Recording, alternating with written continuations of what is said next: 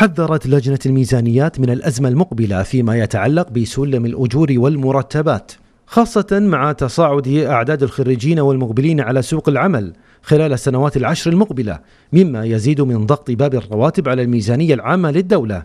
اللجنة تنادي بحلول عملية منها وضع سقف للأجور والمرتبات في القطاع العام من خلال البديل الاستراتيجي أو قرارات ينظمها مجلس الخدمة المدنية.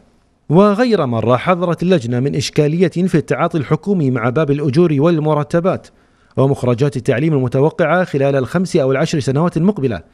الأمر الذي يفرض طرح البديل الاستراتيجي لتوحيد الرواتب وردم الهوة بين الأجور في القطاع العام.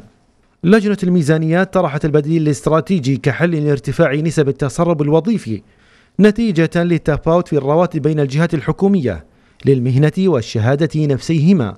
وقد رأت الحكومة أن ما طرح يحقق العدالة ولكن هناك مراكز مالية وقانونية خصوصا في القطاع النفطي تحتاج إلى معالجة.